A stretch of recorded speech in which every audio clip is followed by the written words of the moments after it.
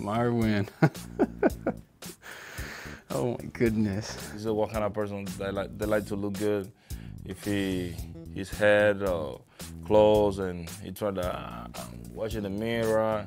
He's the quietest, smart aleck you're gonna find. Uh, he don't say a whole lot, but when he's, he talks, it's yeah, you listening to that guy. It's funny. he choose dirty.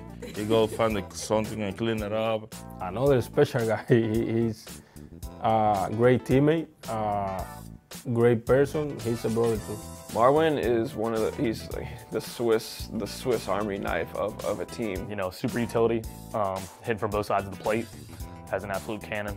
If we need somebody to do something for us, he's going to be our guy. He switch hits. Marwin, uh, leadership. He bring a lot of leadership. Um, he know what he's doing.